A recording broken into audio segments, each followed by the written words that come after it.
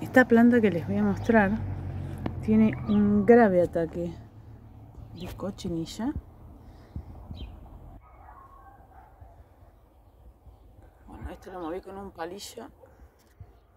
Hay que hacer una limpieza rigurosa. Estas hormigas, miren esto. Está todo acá.